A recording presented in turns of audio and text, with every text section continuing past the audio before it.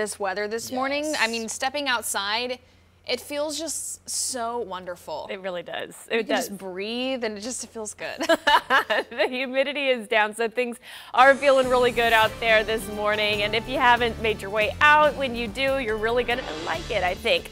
All right, satellite view is quiet. We are not dealing with any clouds across the area this morning. So as we take a little tour here of on our uh, Buffalo Run Casino and Resort Weather Camera Network, first showing you down towards South Tulsa, nice quiet start. Then out towards Shangri-La, same thing. Should be a real pretty sunrise here in the next hour or so.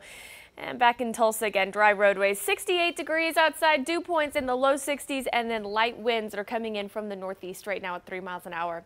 We're going to continue to look for relatively light uh, winds today. They're going to be anywhere from about uh, calm to 5 miles per hour max, maybe. So a calm day for us out there with sunshine and temps warming up, but still staying well below average on both the low side this morning and the high side. Average low 73, and we're already well below that. It's 68 in Tulsa, which is actually one of the warmer spots. You take a look over towards the east, Grove's at 59. Same with Tahlequah, then we have low 60s in Bartlesville and Pryor this morning. Dew points are down in the 50s and 60s, so it's feeling really good out there. Again, on that muggy meter that we show you, we're looking at a pretty comfortable day as our dew points are expected to stay in the upper 50s to right around that 60 degree mark. So very comfortable afternoon with that low humidity here.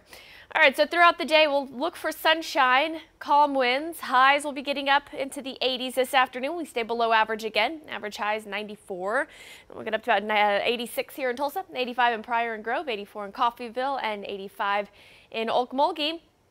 And then tonight, again, we'll be dropping right back on down into the 60s across parts of the area. So about 64 is our overnight low here in Tulsa tonight, 63 in Pryor, and around 62 in Tahlequah, Bartlesville, and Coffeyville. All right, so as we fast forward and take a look at the weekend, we do warm up after having a string of some pretty nice days out there. Those temperatures rebound and get a little bit closer to average. So look for low 90s on Saturday, mid 90s on Sunday with sunshine, and then heading into next week, there's a chance for some rain. But you stay in the 80s through Friday, then here those low 90s for Saturday, Sunday. Monday, low 90s continue to stick with us with that 30% chance for scattered showers and thunderstorms, and then 90s on Tuesday again, but we should be drying out, should be short-lived. Just Monday looking for that chance for some rain here across parts of the area.